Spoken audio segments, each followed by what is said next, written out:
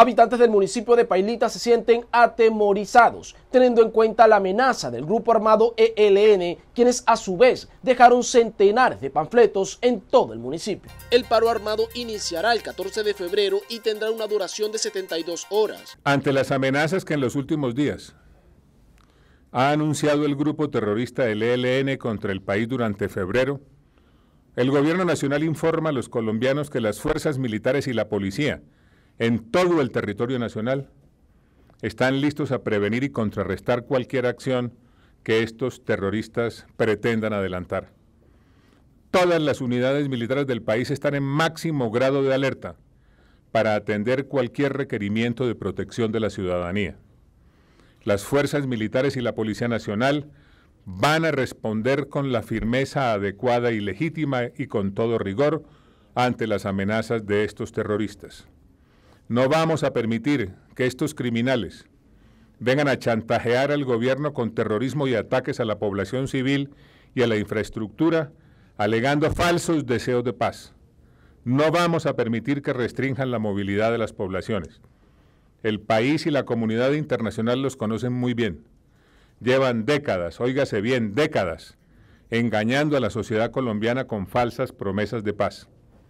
Hace un año, el 17 de enero, al mismo tiempo que pedían negociaciones de paz, esa organización criminal asesinó de manera cobarde a 22 cadetes en la Escuela General Santander.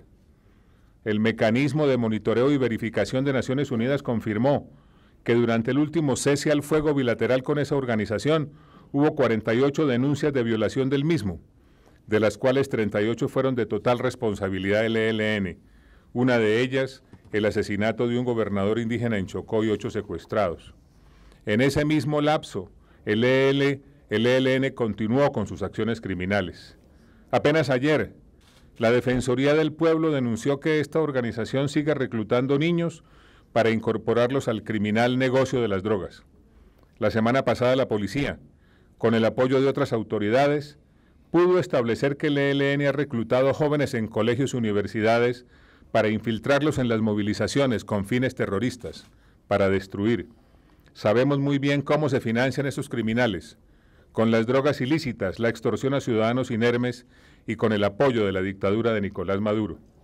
En diversas ocasiones organizaciones civiles le han pedido al ELN que den verdaderas muestras de su deseo de paz y hoy le responden con amenazas en contra de todos los colombianos.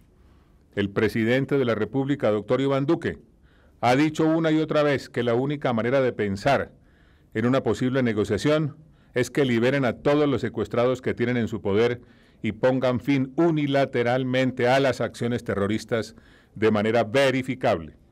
Mientras esto no ocurra, nuestra respuesta hoy es ofensiva total de la fuerza pública.